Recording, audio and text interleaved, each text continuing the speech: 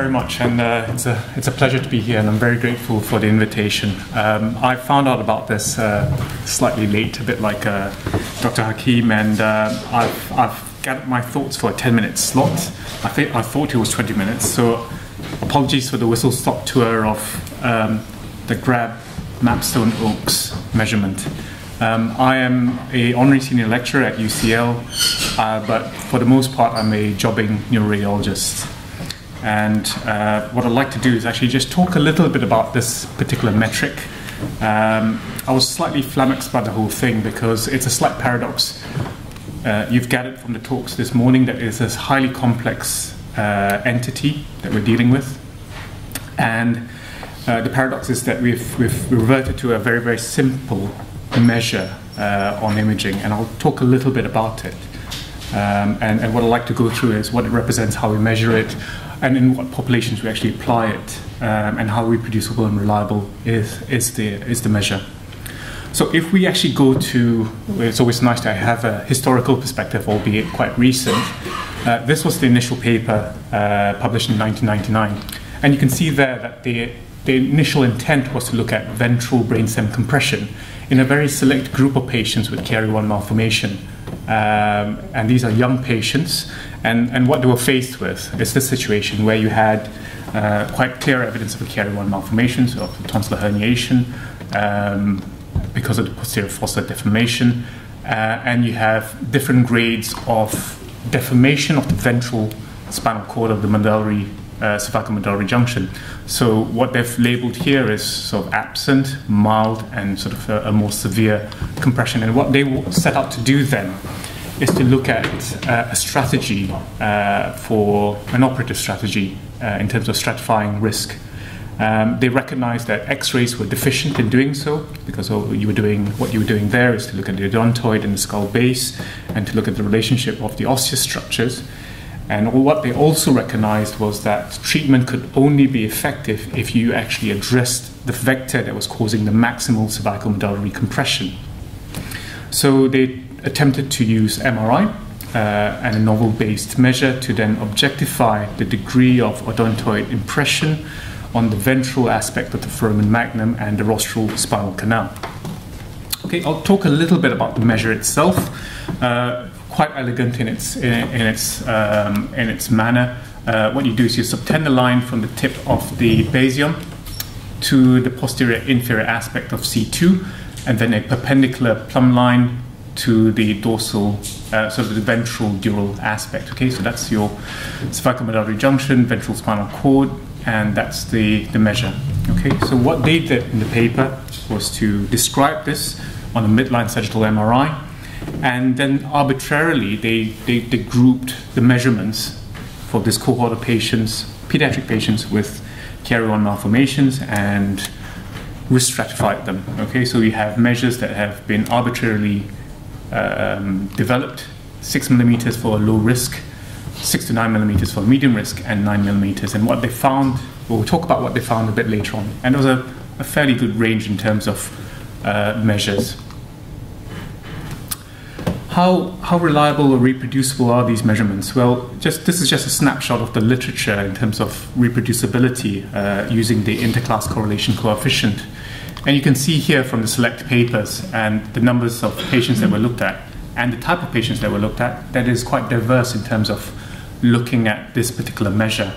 Uh, it doesn't really matter because you know everyone's got well, most of the population will have a clivus, uh, a C2 um, uh, vertebra, and you can actually then look at the variability between uh, measurements for individuals and between individual uh, between the same person at different times.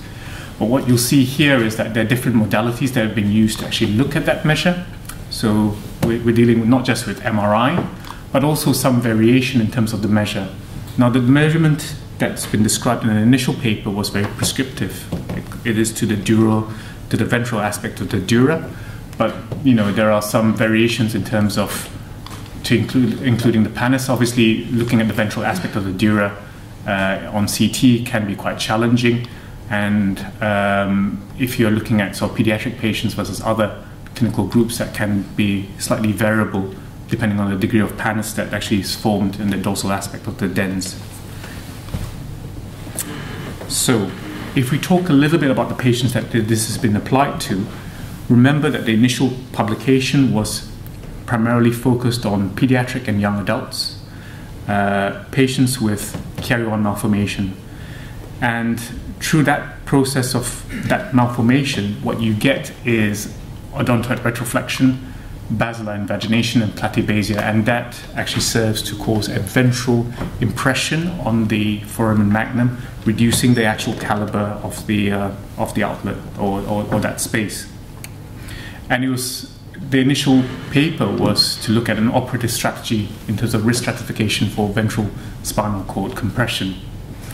It's since been recognized that in Chiari-1 malformation that this is quite the Grabb-Oakes measurement is quite a sensitive uh, measure compared to other morphometrics in the craniocervical junction. And that's been addressed primarily in the pediatric uh, population. And taking that further, it's also been used to risk stratify uh, patients who would benefit from not just decompression but also occipital cervical fusion surgery. So the combination of using the Grabb-Oakes measurement at a cutoff of more than 9 millimeters, a cervical, um, a clival axial angle of less than 125 millimeter, uh, 25 degrees, and a Chiari 1.5 uh, entity, which means that the obex is actually beyond the or at the level of the foramen magnum. Once you risk stratify patients in that category, they would then be seen to be benefiting from occipital cervical fusion. But how does this relate to hypermobility syndromes, EDS, and hereditary uh, disorders of connective tissues? Well, the so called seminal paper was published in 2007, where there was an association drawn with Chiari-1 malformation and, uh, uh, and connective tissue disorders, grouped together as an all encompassing mesodermal disorder. What they did there was to look at 3D CT and X ray morphometrics and to utilize invasive traction methods um, in three particular subgroups of patients. So, ones with Chiari-1 malformations, um, connective tissue disorders with Chiari-1 malformations, and healthy controls. Uh, note that there was no utilization of the Grabb-Oakes measurement in that particular paper, but it was quite useful. It was quite an important paper in that it drew that association of one and the other.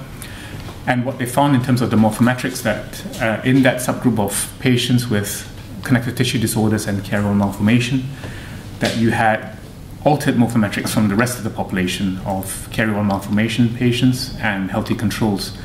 Uh, I'll talk, it's beyond the remit of this particular discussion to actually talk about those morphometrics until maybe later on in the discussions, but it was then proposed that there is a process in patients with uh, connective tissue disorders of cranial settling, uh, occipital cervical posterior uh, gliding, which means a translational movement, resulting in these decreased angles uh, at the, uh, the angle, amongst other things, which then results in a progressive retroodontoid pannus formation.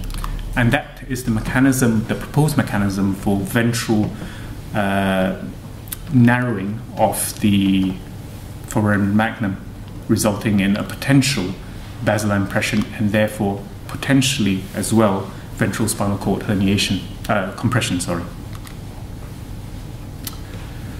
Thereafter, based on largely that uh, evidence, um, uh, there is an, a body of evidence that's developed mostly on consensus, uh, which talked about a cervical medullary syndrome, which you know we've, we've had a little conversation about. There's a cluster of syndromes which have been attributable to potential ventral spinal cord compression and may be associated with craniocervical instability. Now, remember that the, the, the Grabb-Oakes measurement is not really a measure of instability as such, but on ventral spinal cord compression. So the two have been drawn together. And I think more recent publications have, have reflected that there, there, there is a need to actually look at a more dynamic approach, have a more dynamic approach to craniocervical instability and to advocate the use of the Grabb-Oakes measurement in uh, ventral brainstem uh, uh, spinal cord compression, brainstem compression in hypomobile patients. And it's been recently shown in a follow-up study of 20 patients that post CCJ stabilization for craniocervical instability, that the Grabb Oakes measurement does actually improve after. Um, so, so that's a, a form of a utility for the, uh, the Grabb Oakes measurement in terms of outcome measures, and that correlated quite well with, with uh, patients' uh, improvements in symptoms. So, just going through the historical literature to, to present day, what we, we, we find is that uh, the evidence really for the use of the Grabb Oakes measure is really in Chiari-1 malformation. And in a select population of patients uh, who are predominantly in the pediatric age group and young adults, um, there was a little bit of discussion about uh, why patients would develop symptoms of later on uh, in terms of craniocervical instability. And I think more recent publications have actually dealt with morphometric changes in the craniocervical junction, and that could contribute to that, that, that change, that threshold change, and, and clinical presentation uh, towards adulthood. Uh, just looking at the literature, there is, in terms of the application of the Grabb Oakes measure, there is some heterogeneity in terms of which imaging modalities are used. The original description was purely midline sagittal T1 and T2 weighted images, but we've looked at the reproducibility studies utilizing uh, CT, MRI, and in different populations. So, you know, we need to be slightly cautious about how we apply it and in which modalities.